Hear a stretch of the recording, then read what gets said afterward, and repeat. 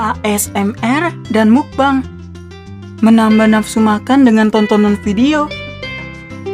Hey, beberapa tahun ini kita sudah nggak asing banget sama fenomena mukbang dan ASMR Kedua tontonan ini mempunyai daya tarik sendiri.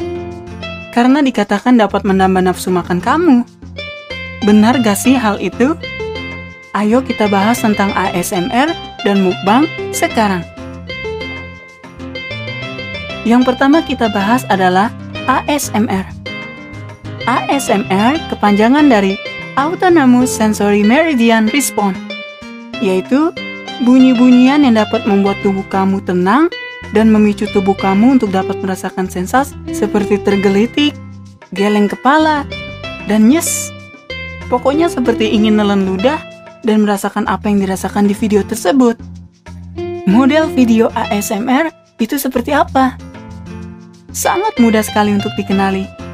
Video dengan nuansa keheningan yang berfokus kepada suara makanan yang dimakan, tidak ada suara ngobrol atau apa pun yang dapat merusak suasana ASMR.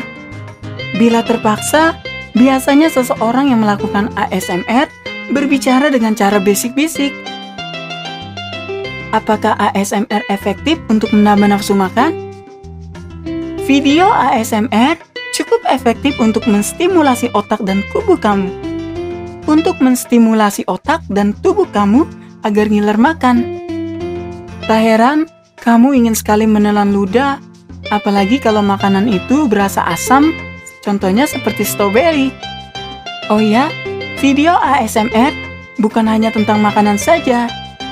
Kegiatan dalam video seperti memijat-mijat slime, memotong-motong sabun, ternyata masuk dalam video ASMR juga loh. Sekarang, ayo kita bahas mukbang. Apa itu mukbang? Mukbang dalam bahasa Korea artinya siaran makan, atau lebih tepatnya makan sembari siaran video. Orang di Korea sana sudah terbiasa makan sembari menonton acara TV mukbang. Karena acara TV tentang mukbang di sana sangat digandrungi. Namun sayangnya, porsi yang disuguhkan sangat-sangat banyak sekali. Tapi ya tidak bisa dipungkiri kalau itulah yang bikin video mukbangnya menarik. Ya, kadang banyak sekali orang yang memakan makanannya di rumah sembari menonton video tentang mukbang untuk menambah nafsu makannya. Ya, dibanding depresi tidak ada teman untuk diajak makan, tidak ada salahnya untuk makan sembari nonton video mukbang. Tapi tetap perhatikan porsinya ya.